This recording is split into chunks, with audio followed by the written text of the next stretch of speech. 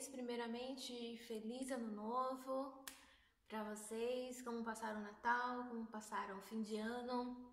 Tudo bem? Ai, eu só passei aqui para desejar um feliz ano novo para vocês, para todos nós. Mais um ano, né, que se inicia, um termina, outro se inicia.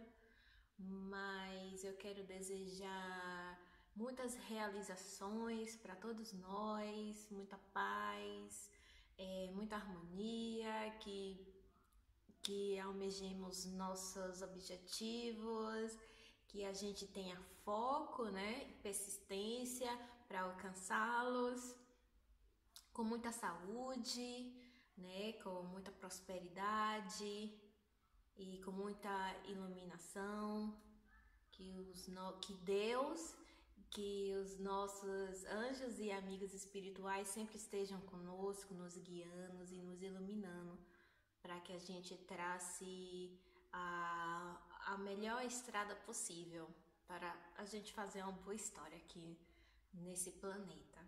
Hoje são dia 10, hoje é dia 11, é aniversário do meu filho, João Pedro, quem não sabe, eu tenho um filho já grande, um adolescente, já adulto que mora em que mora em, em, no Brasil, em Camaçari, uma cidade próxima a Salvador, Bahia.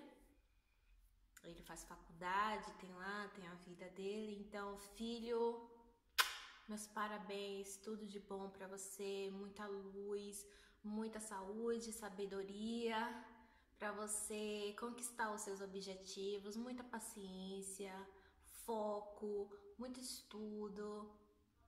Mamãe te ama, morrendo de saudade, mas logo logo a gente vai estar juntinho para matar a saudade, curtir, dar risada, farrear, como sempre a gente faz.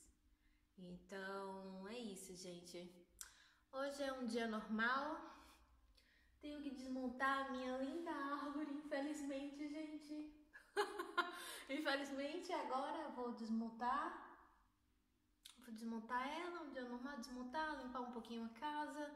Nada demais, vocês vão me acompanhar nesse dia de, de tirar as decorações de Natal. Tá na hora, né? Já.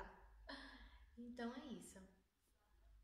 Um beijo grande para vocês. Não se esqueça de curtir, de comentar, de se inscrever no canal.